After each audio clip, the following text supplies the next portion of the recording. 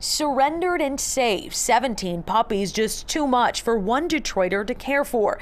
Michigan Humane stepping in to negotiate with their owner to surrender these pups to get the care they need. It took several weeks to get here. This is not an unusual case for the team here. It's actually something that we do a lot of. The eight week old mixed breeds from unplanned litters came to them Monday in good health. Anytime we get puppies like this, it's always a bit of an adventure. You know, they start to show their personalities. We get to learn their quirks, their likes likes, their dislikes, and obviously um, we become chew toys for all of the pups as well.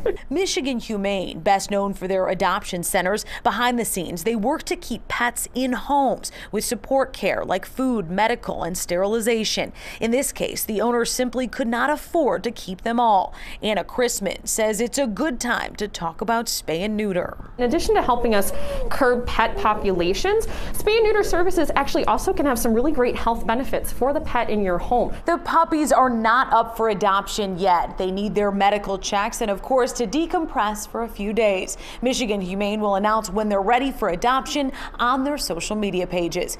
Jessica Dupnack, Fox 2 News.